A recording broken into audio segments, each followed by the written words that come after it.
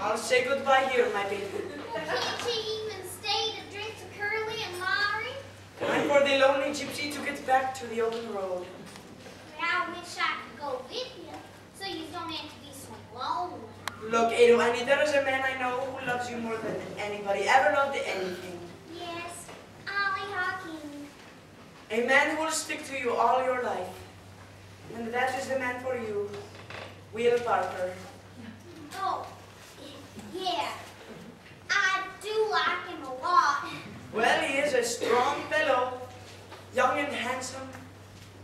Well, I guess I do love him. Of course you do. You love those clear blue eyes of his, and the way his mouth wrinkles up when he smiles. Do you love him too?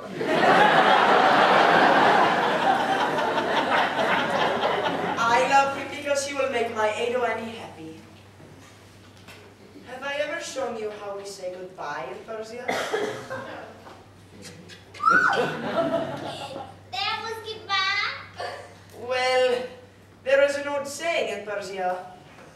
One goodbye is never enough. I will. I will.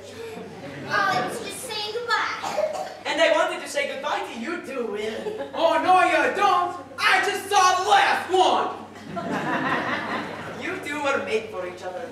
Now you be good to her, Will, and I don't want you be good to him. I guess you don't mind. I am a friend of the family now, remember? Didn't you say you was going? Yes, I must back to the open road. You know, the lonely gypsy. Friend of the family, remember?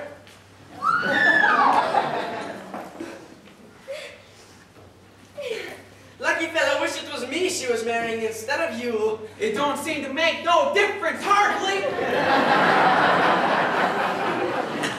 Well, I better get back to the open road, you know, the lonely gypsy and all. Ali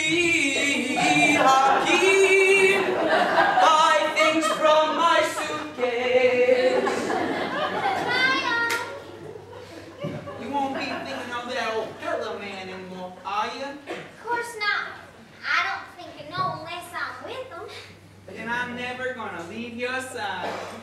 So, Will, you think maybe even if you don't leave or nothing, go on a trip, maybe every once in a while, you can give me one of those old Persian goodbyes?